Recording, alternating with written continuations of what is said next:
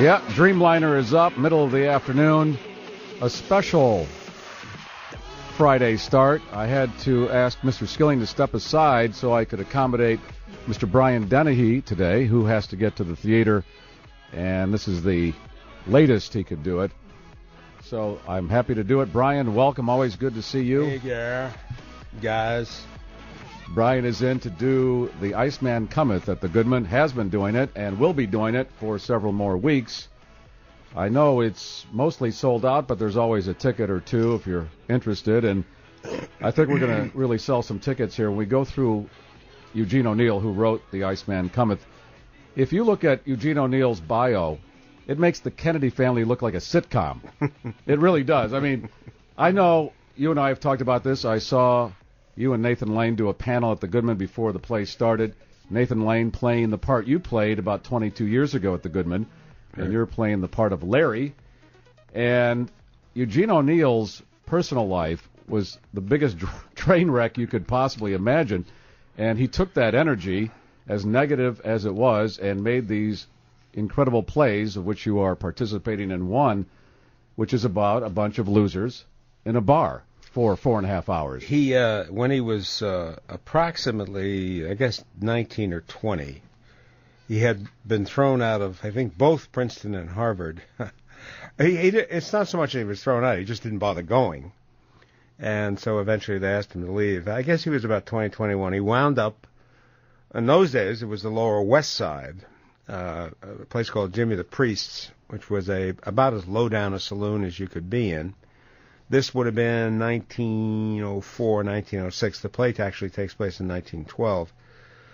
But he, stayed there for four years until uh, eventually he had a, an unsuccessful suicide attempt, combination of alcohol and Veronal, and uh, uh, was discovered after four days of being in his uh, room above Jimmy the Priest. I think it was Jimmy the Priest. There were three or four bars that he describes basically in the play and uh, began the recovery, um, which of course ulti- ultimately resulted in the Nobel Prize.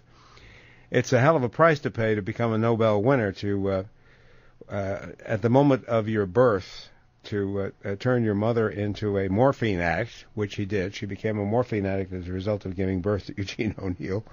He was a terrible drunk. He screwed up his family, uh, various families that he had. two of his children. There were three. Two of his children were virtual suicides. One was an actual suicide, and the other one was, was essentially drank himself to death.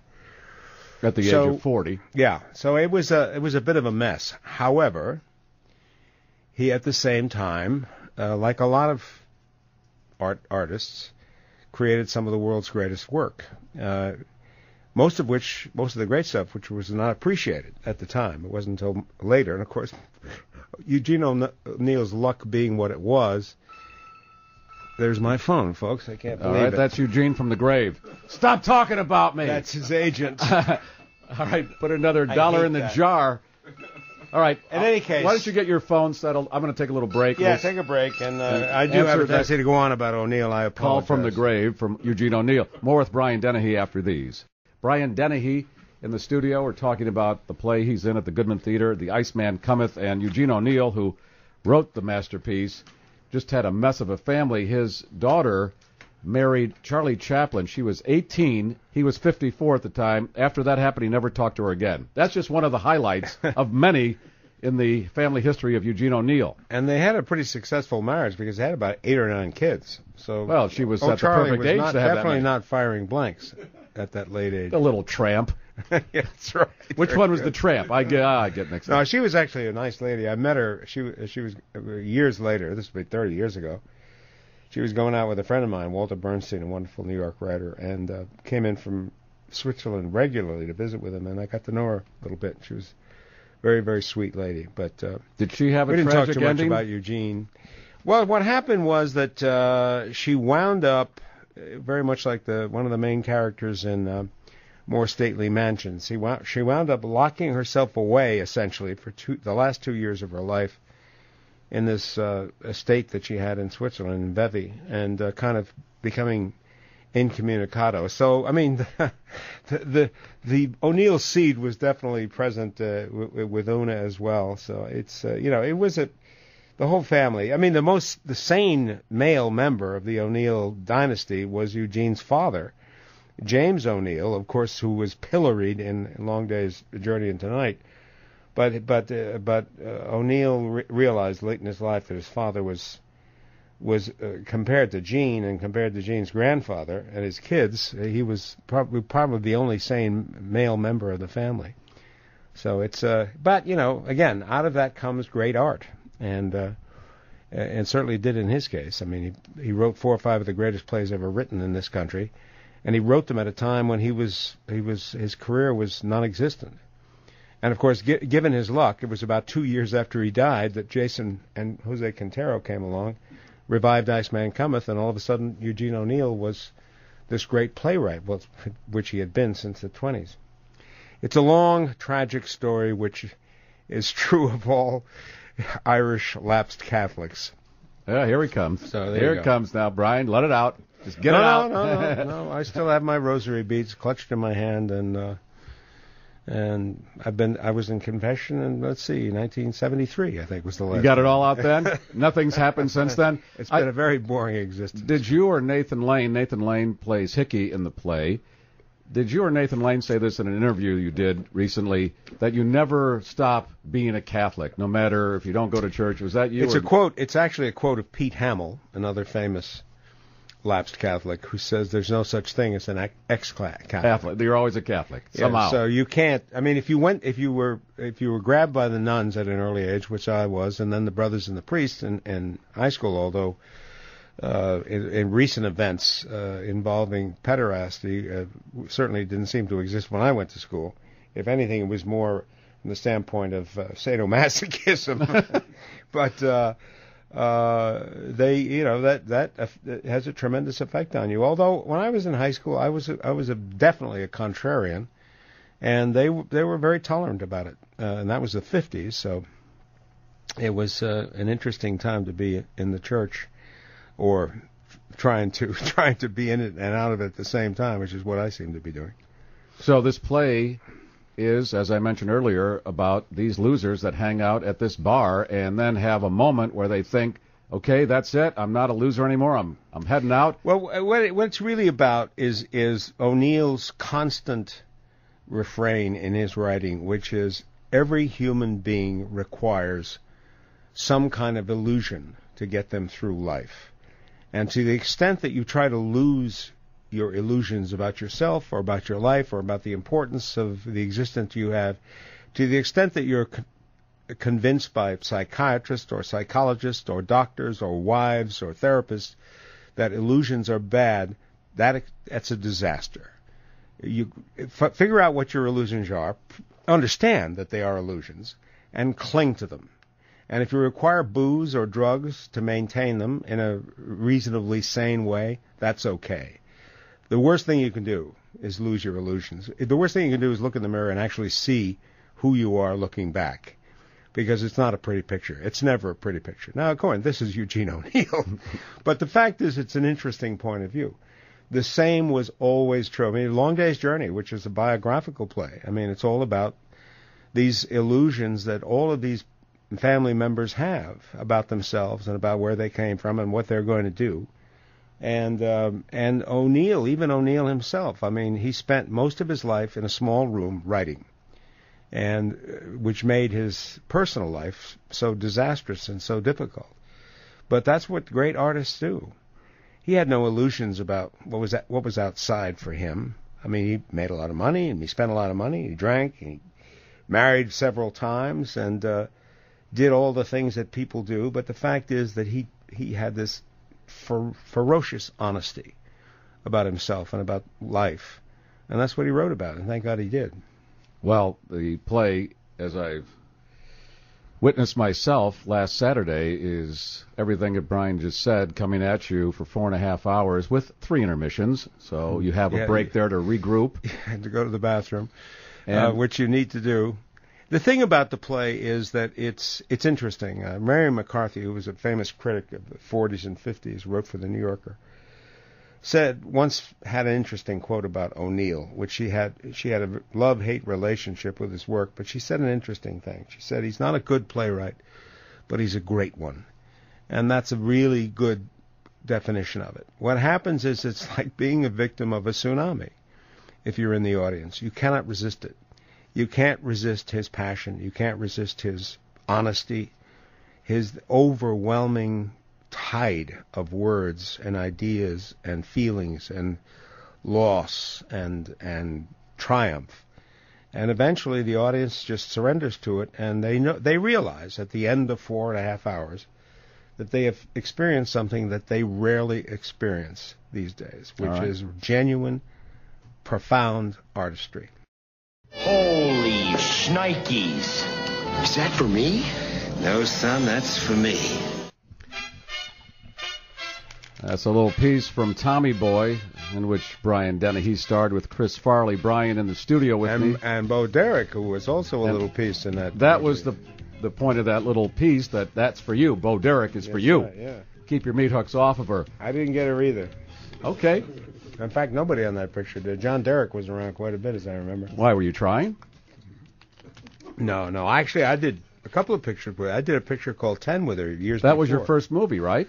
No, no, no, no. It was That was a. It was the first movie where I was in a successful movie. Oh, is that I, when, okay. you, when you're in a when your your movie is successful, that always becomes your first movie. But that was uh, that was because of uh, Dudley, and and uh, Dudley Bo, Moore. and that remember that hairdo she had with the with the right, beads. The beads. and that was all prominently featured. Blake Edwards, a really really smart director, You were the bartender in ten. played the bartender. And So how many movies did you do before that? Before we get to oh, ten? God, I can't remember. Because I thought when I first met you, you said that was your first movie. I guess you lopped off. No, the, no, that was the first movie where, like I say, where you know it was kind of a hit. I think I had done Semi Tough before then, which was kind of a hit oh, too. okay, that's good. But I don't, I don't remember that stuff. So you and Bo and Dudley Moore. well, we were all in, te- in Me- Mexico together, Los Hadas, and but Dudley, who was a pretty good drinker, was a brilliant piano player. He he he was a composer. He he actually composed music and. And we were in that lounge where we actually shot, and of course we'd always wind up. We were staying at this resort, we always wind up there at night, and he would sit down at the, at the piano, and and Julie was in it too, Julie Adams, and and and he would pl- Julie Andrews, and he would uh, play for hours, and it was just it was one of those elegiac times, very special times, you know, being in that picture and getting to know him. I did a couple of pictures with him. I did a picture called Foul Play with him too. Very special guy. Uh, had all kinds of physical problems, which ultimately killed him too young, but just a great guy, fantastic guy, very funny, very sweet man. Speaking of Tommy Boy, you think of Chris Farley? He was Eugene O'Neill like in the way he yeah, he died he not went too out far from here in the, Hancock, building. Yeah. Yeah, I mean that was a tragedy. He had a wonderful family. Uh, most of, I think his dad just passed away a couple of years ago. But he had two brothers that he was close to, and his his mother and father. I got to know that. I think they're from Wisconsin. Yes. and great people. So he did not have, you know, the John Belushi thing, which was a, a who had a, a very difficult father, you know, violent father apparently, because uh, Chris had a, a great family life. They loved him and they were close to him. So who knows? You know, it's uh, the demons. I mean, it's amazing that I'm even here compared to the stuff that I did, you know, 20, 30 years ago. Some of which you weren't in on, whether you want to admit it or not. Watch your mouth. But uh, uh, but anyway, um, you know, we were all crazy in those days. I I, I was older than Chris, and so I had, I had survived a lot of it. But uh, he was still fighting his way through it, and he didn't make it. So On that movie, were there times when he just seemed out of it? he was actually pretty good. He had promised Lorne Michaels, is it Lorne Michaels, the Saturday Night Live guy who produced it, that he would be good, and he was. I mean, he would try, he would periodically. We're in Toronto, and he would peri- periodically drag me and David and whoever else he could David get Spade. to go to. Uh, I think it was called. It was either called the Gold Rail or the Brass Rail, which was a topless joint. And uh, he would sit there at that bar and slip hundred dollar bills uh, into into the uh, wardrobe with various strippers. And I mean, it was it was interesting, you know, for ten minutes. Uh, but then, you know, either the evening proceeds or it doesn't. But it can't stay the same. so I would always say, listen, I got to, you know, I'm at the age now where I'd, I'd rather go home and put on ESPN. so, uh, and he would spend a fortune, uh, you know, and uh, and he and he, he would always say, "She's going to college. I'm helping her with her tuition." So she'd have 300 bucks sticking out of her g-string. I said, "Yeah, I wonder what she's studying." but he was a terrific guy. He was just the nicest, Well- sweetest guy. He came to a couple of openings of mine in New York, and uh, you know, it was one of those tragic uh, things. I mean, uh, John Candy, who was a friend, was a similar situation. It just, you know, he couldn't couldn't kill the demons with uh, the pizza, I guess, and and uh, and John, of course, was a smoker. I mean, he was a heavy smoker, and of course, Belushi himself, uh, who uh, had his own uh, demons. A lot of those guys. I mean, Sam Kinison, who was a very good friend of mine, and I loved Sam, and we thought Sam had beaten it. Well, he dies in a car accident. Well, it wasn't even his fault. that's Some guy came across the divider. right. Hit him head And on. ran his head on, and he was clean. I mean, uh, just to show you, you know, the irony of, of life and death. But uh, yeah, I mean, a lot of those guys were just, you know, they they had their devils and their demons, and uh, and a lot of us did. I mean, I had a couple myself, but once you, once you get past a certain age, all of a sudden, uh, you know, there's nothing more boring than a 45 year old man making a fool out of himself. and uh, so th- th- things have a tendency to wind down. I, I got married to a great lady, and I'm still married to her, and uh, my kids have all turned out great. I've been a lucky guy. I know you said to me one time it's one thing to portray a train wreck, it's another thing to be a train wreck. And when Yeah. you cross over into being a train train wreck, you're And I know a lot of guys who are very, very famous who uh, who got out. In many cases, just in time. You know, ju- just barely got out. In fact, Belushi's death had a lot to do with a lot of guys cleaning up because those days, those late '70s, uh, early '80s, were mad, mad times. And uh, and you know, most of the guys made it, but some some of them didn't. And uh, and Chris, for some reason, that was later on. It was delayed, but it was, you know, it was one of those things where the, you just he couldn't get he couldn't get control, and uh, you have to kind of get control. So all right. Hang on, Brian Dennehy with me for a few more minutes. This is WGN. All right, a few more minutes with Brian Dennehy, who is in town at the Goodman Theater in The Iceman Cometh, and Eugene O'Neill wrote this masterpiece. But you know, we should talk for a minute about Bob Falls, who did such an extraordinary job directing this thing. We we he and I have done it before, but he his work in this thing is masterful, and it's a fantastic production. And the direction of any play like this is so critical because it's so complicated, and the characters are so uh, uh, different and and so hard to control. You've got eight, ten people on stage at a time, and the focus has to shift back and forth so that the audience is keeping track of everything that's going on. Amazing job of directing. I mean, the guy has been a you know prominent Chicago and New York director for years, but his work in this is, uh, and he and I go way back. You're like the Lennon McCartney of Chicago theater here. Yes, in more ways than one. here we go. Let it out, Brian. Come on. No, no, no. I, I love him, and I, he's an amazing director. He's the best director I've ever worked with, and he just gets better and better and better. And he works really, really hard. He worked very hard on this show. And is it going to New York? Uh, probably not. Um, and uh, that was to be expected. It's an extremely expensive proposition. There are 18 or 20 people in the cast, depending upon which ones you feel like you can do without. It runs four and a half hours, which means you can only do six a week. You can't do eight. You can't do a matinee. You, uh, Spacey did one day where he did a matinee on Saturdays, which means he was on stage nine hours. Kevin Spacey. Kevin Spacey. Because that might be a nickname for an actor that you would know and we don't. yeah, no, no, Spacey. that's true. I know a few oh, Spaceys. that guy. I'm one myself. but uh, uh, but it's very difficult to make the numbers work, especially these days. And to do a classic like this, is this kind of uh, a, a tough sell altogether? Because with the world we live in, You the know, attention span it- shrinking, it- well, you're I mean- selling a four and a half hour product here when people start flipping live- the channel after two minutes. We live in the world of Jersey Shore, okay? We live in the world of uh, uh, of whatever junk reality show that is on television. Now, you know, there are people who go to the Broadway theater obviously for other reasons, but to find theater audiences as consistently intelligent and demanding and involved as you find in Chicago is not going to happen. That's why a play like this is done here. That's why the Goodman Theater exists. That's why Steppenwolf exists. That's why another hundred or so theater companies exist in Chicago because of the audiences. Because you have people who want to hear it, they want to see it, they want to experience it. They stay, they get involved, they listen, and uh, Chicago is unique in this country, and in many ways around the world, for the for the attention that's paid, the care that's demonstrated for the theater.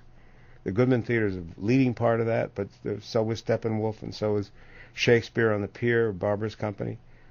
There, I mean, this is a real theater town, and, and that's how you met changed. the director Bob Falls sure. by doing a play here many years ago at a company which doesn't exist anymore, Wisdom Bridge. We did a little Irish play called Rat in the Skull, very tough-minded little play, funny, hilarious, scary play, which of course was received beautifully by the Chicago theater audiences, and that's why somebody like me, somebody like Nathan, somebody like Stephen Ouimette all these amazing actors uh, want to work here, because, mainly because of the audiences. They are so receptive and they're so they have such intelligence as, uh, and concern, care about what they're seeing.